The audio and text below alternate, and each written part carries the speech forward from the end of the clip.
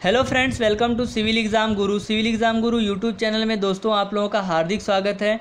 मैं प्रशांत और आज आप लोगों के लिए अप्लाइड मैकेनिक्स सब्जेक्ट के कुछ ऑब्जेक्टिव क्वेश्चन डिस्कशन करने आया हूँ। मैंने अपने प्रीवियस क्लास में आपके लिए 20 questions objective of applied mechanics subject जो है मैंने आपको करवा दिए हैं। आज के इस वीडियो में हम लोग क्वेश्चन नंबर ट्वेंटी से देखने वाले हैं। तो आइए अपने वीडियो को स्टार्ट करते हैं और क्वेश्चन नंबर ट्वेंटी क्या है, उसको पढ़ते हैं और अच्छी तरीके से समझते हैं। तो क्वेश्चन नंबर ट्वेंटी वन हमें बोल रहा है दोस्तों, the set of a force whose resultant is zero are known as. ऐसा फोर्स जिसका रिजल्टेंट ज़ीरो होता है, उन फोर्स को हम लोग क्या बोलेंगे? उसको हम लोग बोलते हैं equilibrium force the force whose line of action meet at one point इसको हम लोग बोलते हैं कॉन्करेंट फोर्स ऐसा फोर्स जिसका लाइन ऑफ़ एक्शन किसी एक पॉइंट पे आके मीट करता है उसको हम लोग बोलते हैं concurrent force the force whose line of action lies on the same line are known as collinear force ऐसा फोर्स जिसका लाइन ऑफ़ एक्शन किसी सेम लाइन पर हो, उसको हम लोग कोलिनियर फोर्स बोलते हैं. सेम प्लेन पे होगा तो को प्लेनर फोर्स बोलेंगे. सेम पॉइंट पे है तो कॉन्करेंट फोर्स बोलेंगे. इक्विलिब्रियम में total amount of force zero होता है. The necessary condition of a body is in equilibrium कोई बॉडी यदि इक्विलिब्रियम में है तो उसका ओरिजेंटल फोर्स का समेसन ज़ीरो होगा वर्टिकल फोर्स का समेसन ज़ीरो होगा और मोमेंट का समेसन भी क्या होगा? ज़ीरो होगा। If three coplanar force acting at a point in equilibrium then each force is proportional to the sine of angle between the other two it is called as इसको हम लोग बोलते हैं लामिस थ्योरम दोस्तों। यदि तीन कोप्लेनर फोर्स हैं, तीनों एक ही पॉइंट पे लग रही हैं तो तीनों फोर्स जो हैं, वो उनके साइन ऑफ़ एंगल के बराबर होगा। मतलब पी अपॉन साइन अल्फ़ा आपने ये फॉर्मूला शायद कभी पढ़ा होगा। Q upon sine beta R upon sine gamma इस तरीके से आप जो है कह सकते हो। इसको हम लोग बोलते हैं Lami's theorem next question in S I unit unit of moment is moment का यूनिट क्या होता है? तो हमें पता है मोमेंट का फॉर्मूला क्या होता है? फोर्स मल्टीप्लाई परपेंडिकुलर डिस्टेंस, यही होता है। Force multiply perpendicular distance, force को हम लोग बोलते हैं न्यूटन और डिस्टेंस को लेते हैं मीटर में। तो मोमेंट का यूनिट हो जाएगा newton into metre. Option B जो है वो करेक्ट हो जाएगा। Next. When two equal unlike parallel force causes rotatory motion of a body then this system is called as a दो अनलाइक पैरल फोर्स हैं। और दोनों जो है ऐसे रोटेटरी मोशन में लगा रहे हैं तो इस सिस्टम ऑफ़ फोर्स को हम लोग क्या बोलेंगे? उसको हम लोग कपल बोलेंगे। क्या बोलेंगे? इसको हम लोग कपल बोलेंगे। ऑप्शन बी सही हो जाएगा। Next when a smooth cylinder lying on a convex surface remains dash in equilibrium यदि कोई स्मूथ सिलेंडर है और उसको कॉन्वेक्स सरफेस पे रख दिया गया है तो वो किस प्रकार का इक्विलिब्रियम शो करेगा? Unstable, stable, neutral, any one of the above क्या हो सकता है? तो आंसर इज़ अनस्टेबल, क्योंकि कॉन्वेक्स सरफेस है। ये सरफेस को कॉन्केव बोलते हैं, और ऐसा सरफेस को कॉन्वेक्स बोलते हैं। तो जब यहाँ पे कोई रोलर रखोगे तो वो रोलर क्या होगा? खिसक खिसक के नीचे ही तो आ जाएगा। नीचे आ जाएगा ना? ठीक है? समझ में आ रहा है? जो समझ में आ रहा है तो लाइक बटन दबा दीजिए। नहीं समझ में आ रहा है तो कमेंट कर दीजिए। Question number twenty nine four force P two P three P four P act along a side taken in order of a square the resultant of the force is दो, चार फोर्स एक P है, एक to P है, एक three P है और एक फोर पी है। ठीक है? क्या है? फोर पी तो सिग्मा एच कर लीजिए। Sum of the horizontal force sigma V कर लीजिए। Sum of the vertical force तो सिग्मा एच करेंगे तो ये क्या हो जाएगा? Four P minus two P तो कितना हो जाएगा? टू पी हो जाएगा। और सिग्मा वी करेंगे तो क्या हो जाएगा? पी माइनस थ्री पी तो ये भी टू पी हो जाएगा। लगा दीजिए इसका इक्विलिब्रियम कंडीशन इक्विलिब्रियम में क्या होता है? Under root of sigma H square plus sigma V square यही होता है। ठीक है? तो टू पी का स्क्वायर करेंगे तो फोर पी स्क्वायर और इसमें भी फोर पी स्क्वायर फोर को कॉमन ले लीजिए, four plus four eight P हो जाएगा। तो आंसर इस टू रूट टू पी हो जाएगा। ऑप्शन बी जो है वो सही हो जाएगा two root two P question number thirty की बात करते हैं। A smooth sphere lying on a dash in its neutral equilibrium एक स्मूथ स्पीयर है, वो न्यूट्रल इक्विलिब्रियम में हो तो वो किस सरफेस पे लाई करेगा? यदि उसको न्यूट्रल इक्विलिब्रियम में रखना है तो वो हॉरिजेंटल सरफेस पे ऑब्वियसली होना चाहिए। सरफेस हॉरिजेंटल होगा, तभी तो कोई स्पीयर एज इट इज़ रहेगा। यदि आपका सरफेस ऐसा है तो स्पीयर क्या होगा? स्पीयर जो है स्लिप करके ऐसे नीचे गिर जाएगा तो ये अनस्टेबल हो जाएगा। तो स्टेबल रखने के लिए हमें क्या करना पड़ेगा? हॉरिजेंटल सरफेस पे पुटअप करना पड़ेगा। Next question number thirty one for a sphere suspended on a shown in figure the tension T in the string is string के अंदर टेंशन जो है वो कितना होगा? ये आपका स्ट्रिंग है, ठीक है? ये तीस डिग्री पे लग रहा है, ये वॉल है और ये स्पीयर है। तो इसका आप रिजोल्यूशन कर लीजिए।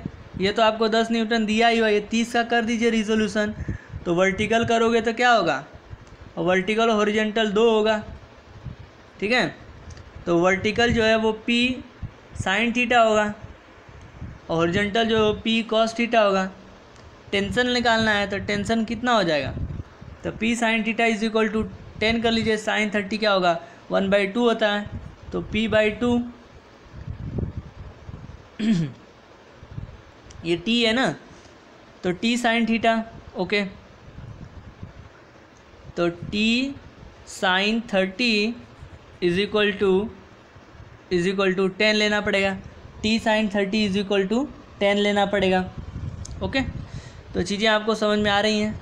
साइन थर्टी क्या होगा? वन बाई टू होता है। तो इसको सॉल्व करेंगे तो नियरेस्ट जो है वो आंसर जो है नियरेस्ट टेन के टेन या टेन के करीब आएगा। तो जो दोस्तों, इसका आंसर ऑप्शन बी आ रहा है eleven point fifty five next question number thirty two a twenty kilo newton force is acting vertically upward its horizontal component is बीस किलो न्यूटन जो है वो अपवर्ड लग रहा है वर्टिकली अपवर्ड लग रहा है, बीस किलो न्यूटन तो इसका ओरिजेंटल कंपोनेंट कितना होगा? तो बीस साइन थीटा होगा। सॉरी हॉरिजेंटल तो कॉस होता है, बीस कॉस थीटा होगा। और कॉस नाइन्टी ज़ीरो होगा तो आंसर जो होगा वो ज़ीरो हो जाएगा। Next question number thirty three statement effect of a force upon a body is same at every point on its line of action refer to effect of force मतलब कोई body है, उसका effect किसी भी line किसी भी line of action में same होता है। तो इसको हम लोग क्या बोलते हैं? लैमिस तो बोलेंगे नहीं, क्योंकि ये साइन थीटा से रिलेटेड है। मोमेंट का कुछ इसके अंदर आ नहीं रहा है। तो प्रिंसिपल ऑफ़ सुपरपोजिशन और प्रिंसिपल ऑफ़ ट्रांसमिसिबिलिटी तो क्या बोल सकते हैं? प्रिंसिपल ऑफ़ ट्रांसमिसिबिलिटी से हम लोग कह सकते हैं कि यदि कोई फोर्स लग रहा है तो उसके लाइन ऑफ़ एक्शन में उसका जो इफ़ेक्ट है वो क्या होगा? सेम होगा।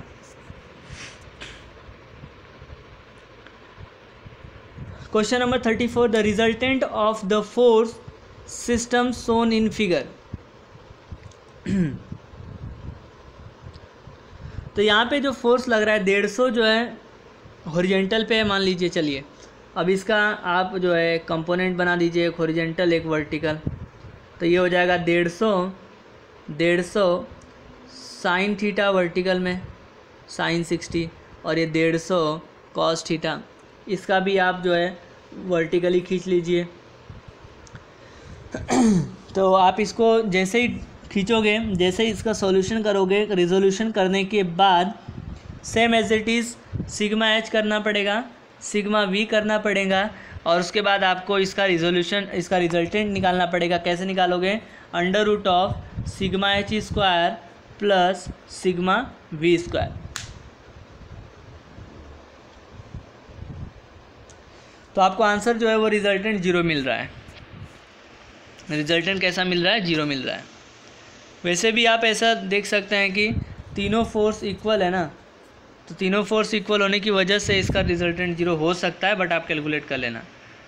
The moment of the couple at the centre of the rectangle shown in figure moment of couple इसका मोमेंट निकालना है सेंटर के ऊपर तो क्या होगा? ये सेंटर हो गया। और ये डिस्टेंस जो है वो आपको 180 एटी mm दिया है, और ये डिस्टेंस 120 है। ये सेंटर पे आपको निकालना है। तो आप लगाइए। Force into perpendicular distance force into perpendicular distance force into perpendicular force into perpendicular distance कौन सा क्लॉकवाइज होगा, कौन सा एंटी क्लॉकवाइज होगा, इस तरीके से आपको देखना पड़ेगा। तो जैसे ही आप इसको कैलकुलेट करेंगे क्लॉकवाइज एंटी क्लॉकवाइज को देख के ऑप्शन बी करेक्ट हो रहा है four point two kilo newton into metre आगे बढ़ते हैं question number thirty six the resultant of the force system shown in figure question thirty five is इसमें रिजल्टेंट फोर्स भी निकालना है। तो रिजल्टेंट फोर्स तो निकालने के लिए आप क्या करोगे? Sigma H plus sigma V कर दीजिए। हॉरिजेंटल कितना दिख रहा है? ये बीस है और ये बीस है तो ज़ीरो हो गया। ये दस है और दस है तो ज़ीरो हो गया। तो रिजल्टेंट क्या होगा सीधा? ज़ीरो हो जाएगा। Next the reaction acting at the horizontal roller support is roller support के ऊपर रिएक्शन एक खाली वर्टिकल लगता है। क्या लगता है? वर्टिकल रिएक्शन ही लगता है रोलर सपोर्ट के ऊपर। तो ऑनली ये आपका जो है सपोर्ट, इसको हम लोग रोलर सपोर्ट बोलते हैं। तो इसके ऊपर एक ही जो है वर्टिकल रिएक्शन लगता है। ये इसको हम लोग हीन सपोर्ट बोलते हैं। तो इसमें वर्टिकल और हॉरिजेंटल दो सपोर्ट लगते हैं। इसको हम लोग फिक्स सपोर्ट बोलते हैं। तो इसके अंदर वर्टिकल हॉरिजेंटल और मोमेंट तीनों लगता है। Question number thirty eight the type of support provided at the abutment of the bridge bridge के ऊपर जो सपोर्ट लगता है ब्रिज के ऊपर जो सपोर्ट प्रोवाइड किया जाता है, वो किस प्रकार का सपोर्ट है? तो वो एक रोलर सपोर्ट होता है। For a beam loaded at shown in below unknown weight W is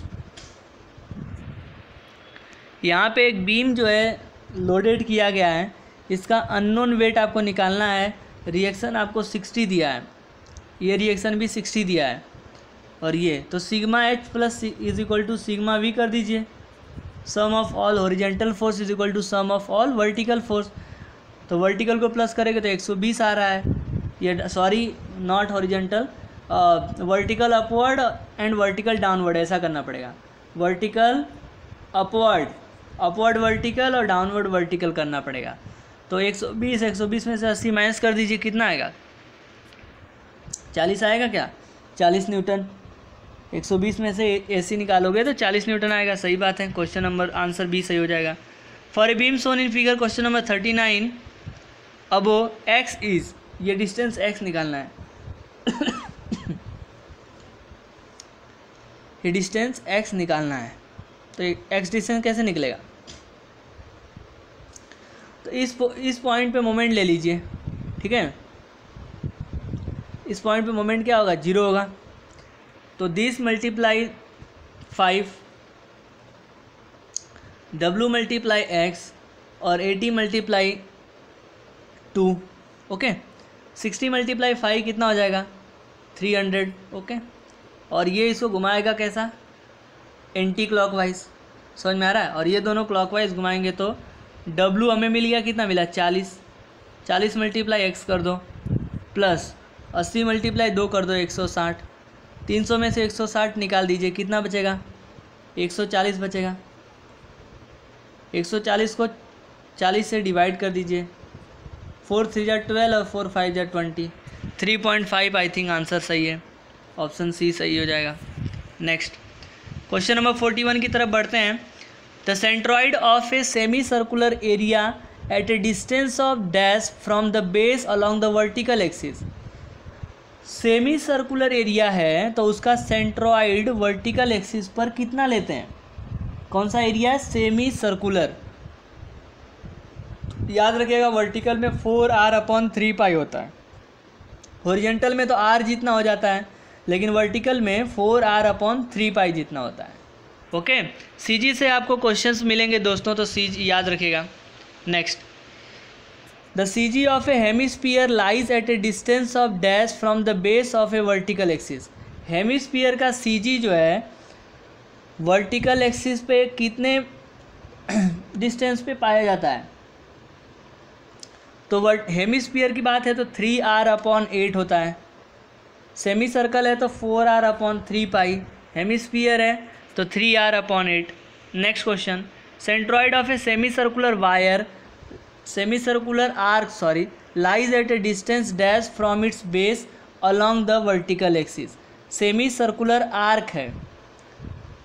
semi circular arc है तो इसका सेंट्रॉइड जो है वर्टिकल एक्सिस पे कितना होगा? तो इसका सेंट्रॉइड जो है ऑप्शन बी सही है टू आर अपॉन पाई होगा।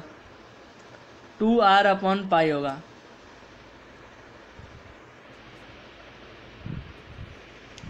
कितना होगा? Two R upon pi for T section having flange sixty into ten M M and web is ten by sixty M M X bar is equal to dash एक दोस्तों T section है, ठीक है? ये T section है।